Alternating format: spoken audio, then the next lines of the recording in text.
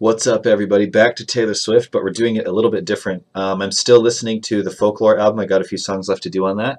But before I finished, um, a lot of people wanted me to listen to some of her live material just because they feel, and I would totally understand why they would feel this way, that it is very different, like hearing a stripped down version of the song. You know, the performance is obviously going to take a completely different direction and have a very different uh, feel to it for a lot of reasons. Like it might actually just be slower or faster, but there's also, in addition to that, like the instrumentation is going to be different, and yeah, it, it really could just feel like an entirely, entirely different song.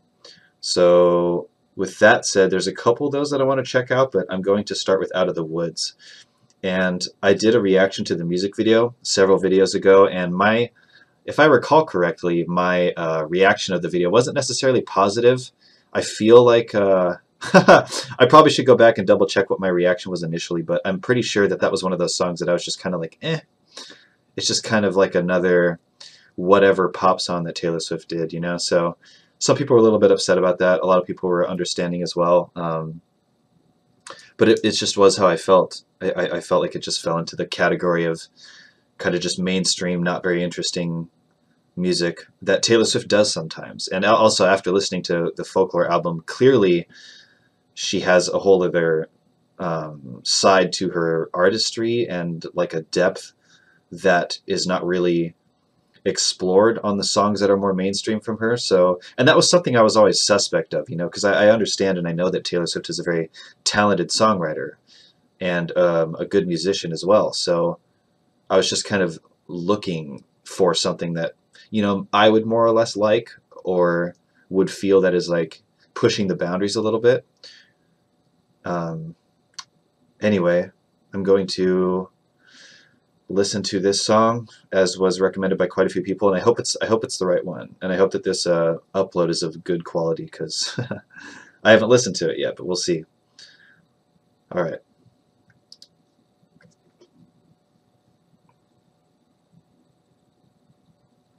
Did I hit play? I'm going to play you a song that I wrote about a relationship that I was in that the number one feeling I felt in the whole relationship was anxiety um, because it felt very fragile. It felt very um, tentative, and it always felt like, okay, what's the next roadblock? What's the hmm. next thing that's gonna that's gonna deter this? What's how long do we have before this turns into just an awful mess and we break up? Is it a month? Is it three days? And so. Huh. I can kind of relate to that. I've sort of been in something like that a little bit recently. Um, I imagine with her, I've, I wonder what relationship she's talking about, and I'm sure that you guys know exactly what relationship she's talking about. And I'm going to feel like silly that I paused it if she is about to just reveal which relationship it was. But yeah, I can relate to that recently. Maybe I've been in a couple relationships like that, but um, this one's kind of felt like it's been in that state for a little while. And it's one of those things where it's like, it feels like it could end in a few days. It might go on for a couple months, but could it really go on much longer? Like you really just don't have a clear vision of what could happen. And in a way, it feels like anything could happen. And, and sometimes that's a nice thing, just the uncertainty, because uh, it, it, keeps things kind of fresh and spontaneous or something. But um, I think when you want to get more serious with a relationship, it actually just, it, it can make you more anxious and more insecure um, and just kind of hesitant to do things that that take things in a more committal direction because again you're just like well should I really be doing this? Should I even is it even smart or realistic to think about the relationship long term when I feel like it could end so soon? Like how can I stop the relationship from feeling like it could just end at any moment? Um, I feel like I've had a lot of thoughts like that and so yeah are we out of the woods yet um, I imagined was something along those lines. So I guess she's just kind of prefacing the context of the song a little bit. So that, that's cool. And I guess I'm at a time where I can kind of relate to her conversational opening about this song. So let's let's keep watching. You know, I think a lot of relationships can be very solid, and that's kind of what you hope for, solid and healthy. But that's not always what you get. And um, oh yeah, sorry. Um, I also just want to say I, I imagine that her relationship the, I don't know, just the kind of people that Taylor Swift would date. Like I imagine mostly like famous or extremely extremely successful people. I feel like those kinds of lifestyles have a kind of uh, volatile nature that a more um, low profile lifestyle doesn't have. So I feel like her being who she is with the kind of people that you know, can kind of relate to the world that she exists in and the lifestyle that she has. Um, in that aspect, I feel like the relationship thing could just be more complicated in that way.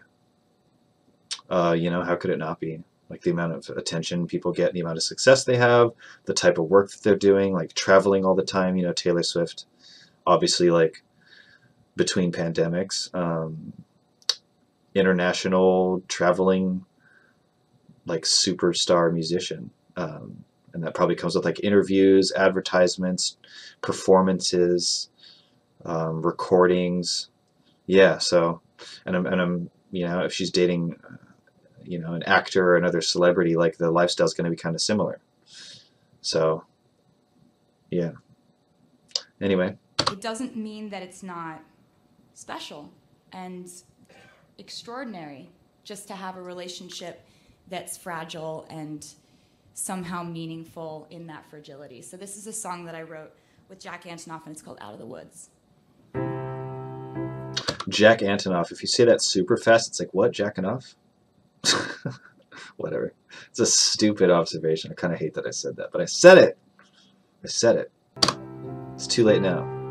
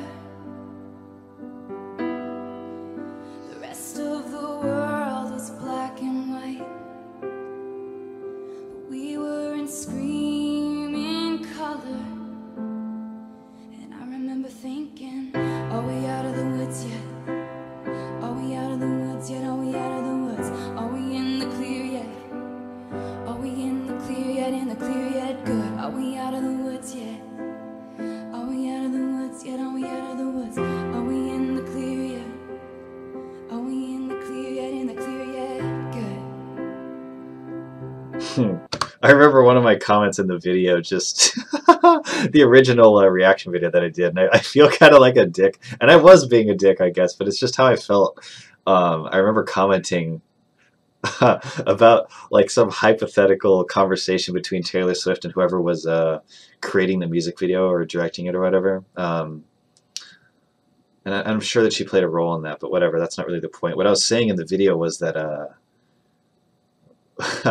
What if she proposed this idea or the person directing proposed this idea of like what if you're just like crawling out of the woods? Like what if you're just constantly crawling out of the woods? As you say are we out of the woods? Are we out of the woods yet? Like how would that how would that work for a music video concept? Like where you're just in the woods but you're crawling out constantly? Because the music video kind of looks like that. It's just silly. So i'm having flashbacks of that a little bit. Um it's funny to hear. It, it feels like this song was written to be like a mainstream pop song honestly so far. And I know my perspective is a little bit different because I heard the mainstream one first, but I think I would feel that way watching this anyway. Yeah, like had I not seen that or heard that video the first time. I also feel like there's a little bit too much reverb on her vocals. Like everything's a little bit too echoey and washed out. And it would be nice to just hear the texture of her vocals and, and the space between the notes um, a little bit more, I guess. But everything is kind of blurred together with a lot of reverb over everything. Um, and that could be nice sometimes, but I sort of wish this had a more dry, as they call it, a drier sound or feel to it. But I'm just going to keep listening and let you know, let you all know what I think. Looking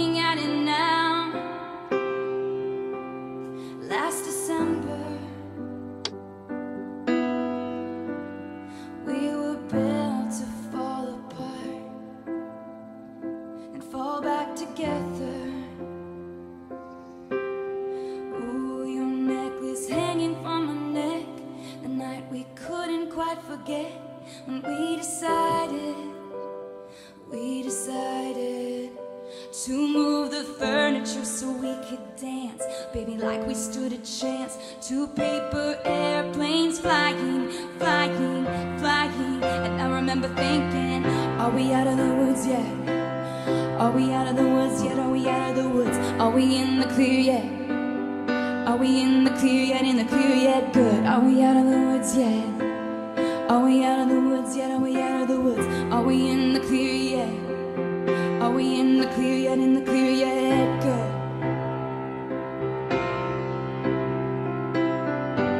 Something about the way that she throws in good feels a little funny in that song. Again, I, I feel like the song is really kind of designed with the intention of being more produced. So to hear it in a context where everything is kind of stripped away, but the song still feels like it's designed to be more heavily produced. Um, it's a little bit funny, but it is cool in a way. I feel like I appreciate the the uh, visual of them dancing and the metaphor of two paper airplanes. You know, like they're sailing, but they're so delicate because they're made of paper. A little bit more um, hearing it in this environment Hmm. But yeah, still really, I that's not an insult to the song. It just still really feels like a song that uh, is just supposed to have a lot more kind of poppy mainstream elements going on. And that's the kind of song that it was at the end of the day, like uh, on the record or whatever, you know? And, and it feels that way. Even in this context, it does still feel that way to me.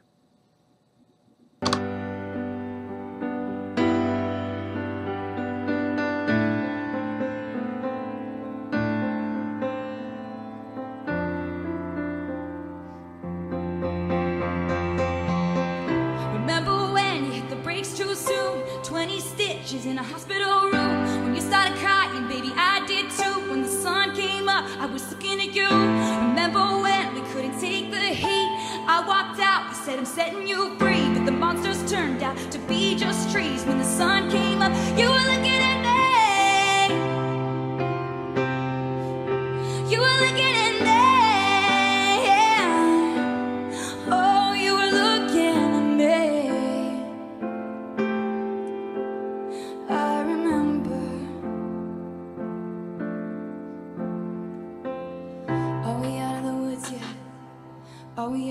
woods yet? Are we out of the woods? Are we in the clear yet?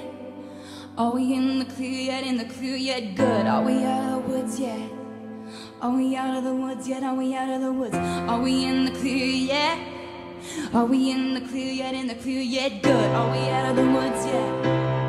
Are we out of the woods yet? Are we out of the woods? Are we in the clear yet? In the clear yet? In the clear yet? Good. Are we out of the woods yet? Are we out of the yet? Are we out of the woods? Are we in the clear yet? Are we in the clear yet? In the clear yet?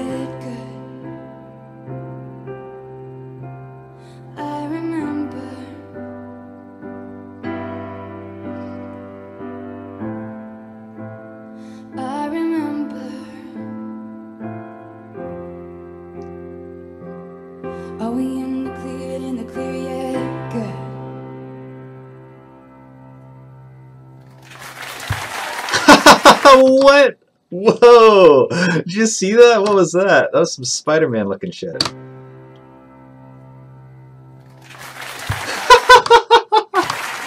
okay.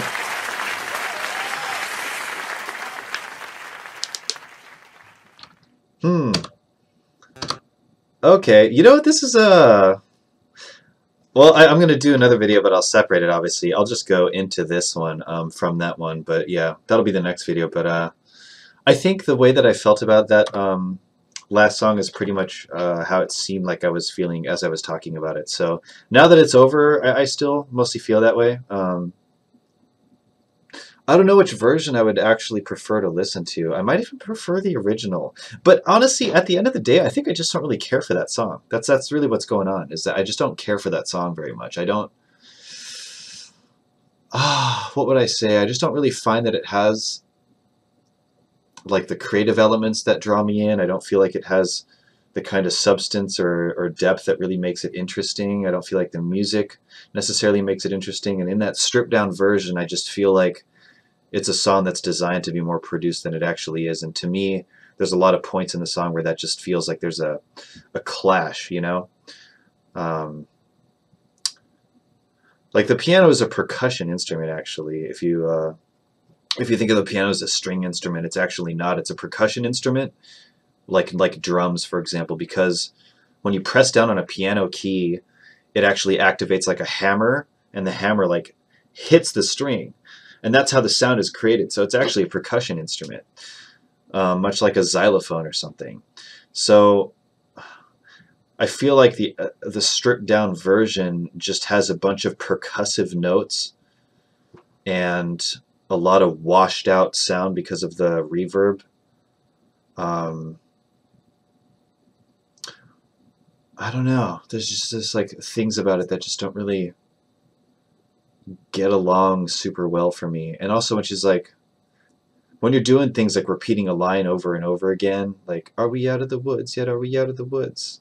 or "In the clear, in the clear, good." You know, that just doesn't feel like something that would be uh, suited for that stripped down piano kind of song. You know.